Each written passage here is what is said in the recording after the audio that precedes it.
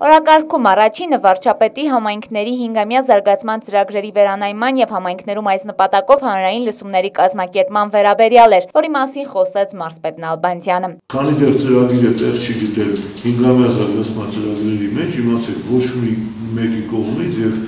որևէ մի կազմակերպության կողմից չի ֆինանսավորվել։ Դրա համար շատ կարևոր է, որ մենք կարողանանք հասկանալ,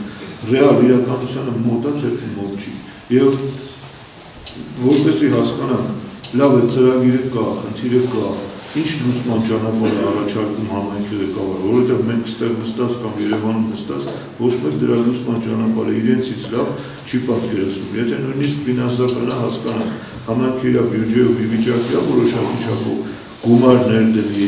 որ պետական բյուջեից ինչ-որ բան պահանջի, կամ միջազգային որևէ մի կազմակերպություն ի վիճակի արդյոք այդ ծրագրին մասնակցի։ Այնպես որ համայնքների հետ պետք մենք կարողանանք ճիշտ աշխատենք բոլոր այս իմ թվարկած ուղությունները։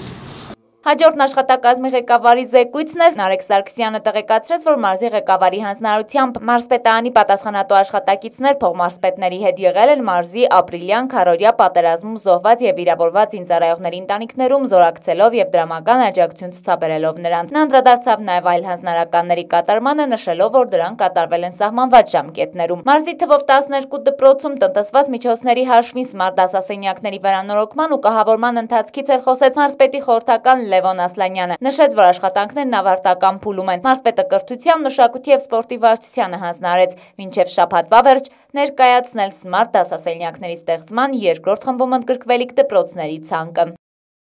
Համայնքներում հարկերի հավաքագրման ընթացքը ներկայացրեց Մարսպետանի ֆինանսական եւ սոցիալ-տնտեսական զարգացման վարչության պետհրաշ Պապոյանը նրա տեղեկացմամբ ապրիլ ամսվա 145 միլիոն 824 հազար դրամ պլանի դիմաց ապրիլի 7-ի դրությամբ սեփական եկամուտների հավաքագրումը կազմել է 12.5 տոկոս։ Ընդհանուր առմամբ չհավաքագրված գումարը առաջի երամսյակից հետ 4 ամիսների կտրվածքով սեփական եկամուտների մասով կազմում է 130 միլիոն դրամ, հողի հարկի մասով 39 միլիոն դրամ, գույք հարկի մասով 29 միլիոն,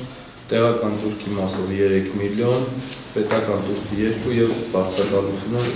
20 միլիոն։ Պետք է նշեմ, որ հիմնական ռիսկային կատարվող հոդվածները մեր մոտ ըստ այդերությամբ հողի հարկն է, որը մոտավորապես արդեն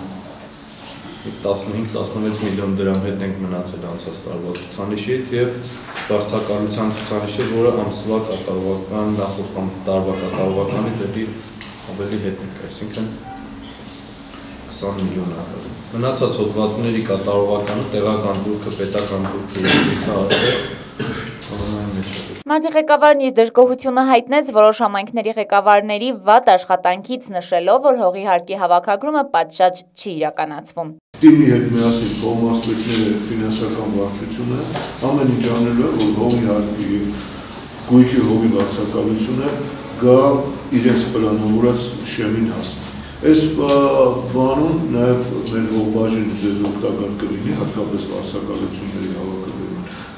Մարզի միջհամայնքային ճանապարհների իրավիճակի ու վերականգնման առաջնահերթությունների, նաև ժամկետների, չգազաֆիկացված համայնքների մասին էլ խոսեց քաղաքաշինության վարչության պետ Արմեն Ջանազյանը։ Նրա խոսքով միջհամայնքային ճանապարհների վերաբերյալ վարչությունը հստակ տեղեկատվություն ունի, ինչ վերաբերում է գազաֆիկացմանը, ապա մարզում արկա է չգազաֆիկացված 6 բնակավայր եւ 24 համայնք։ Այդ համայնքների գազաֆիկացման դեպքում ակնկալվող բաժանորդների թվի գազաֆիկացման ծրագիր իրականացնելու արդյունավետության վերաբերյալ ամբողջական տեղեկատվությունը կազման փուլում է գտնվում։ Հանձնարարականը ժամկետների մեջ կամփոփվի ու կներկայացվի կառավարության ղեկավարին։ Պետական աջակցության մատչելի գներով տրվող գարնանացան ծորենի և գարու սերմացուն մարսպետի հանձնարարությամբ առաջնահերթությամբ աշխվում է այն համայնքներում, որտեղ աշնանացան ծորենի շուրջ հազար հեկտարի ծրտահարություն է տեղի ունեցել։ Զեկուցեց գյուղատնտեսության և բնապահպանության վարչության պետը մարսպետանի հողաշինության ու հողօգտագործման և հողօգտագործման բաժնի պետ Արտակ Օհանյանն էլ խոսեց Մաքուր Հայաստան ծրագրի շրջանակներում Լոռու մարզի համայնքներում իրականացված աշխատանքներից ուսումնասիրություններ են իրականացվել մարզի տարածքում եւ գույք գույքագրել բոլոր աղբավայրերը։ Արդյունքում մարզում գույքագրվել է 300 աղբավայր։ Չնայած սրան, ըստ բաժնի պետի վերջին շրջանում դրական միտում է նկատվում, քանի որ համայնքները ջանում են կենտրոնացված աղբահանություն իրականացնել։ Քննարկվեցին մի շարք հարցեր, տրվեցին հանձնարարականներ։